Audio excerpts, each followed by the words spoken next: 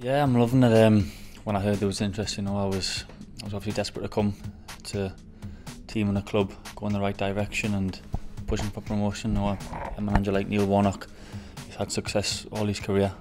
So yeah, I jumped at the chance to come. Our social media feed when, when you signed seemed to be full up with Bolton fans who were gutted to see you go.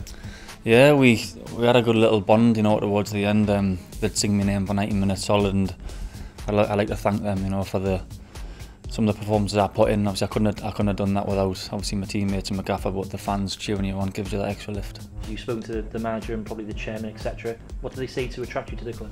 They don't need to say much, really. You know, from the outside looking in, I, I can see where they are in the league. I, I, I didn't fancy playing against Sean Morrison and Sol Bamba again either, so that was a good one to miss now I'm playing with them rather than against them. Um, as I say, the gaffer has had loads of success, so I think it was a right football move for myself. Friday then on Sky is always big one. Obviously, your family will get able to watch. You looking forward to that one? Yeah, can't wait. Um, Millwall is always a tough place to go, but you know after Saturday, I'm I'm full of confidence with the, the players I'm playing with that we can go and, and go and get a result.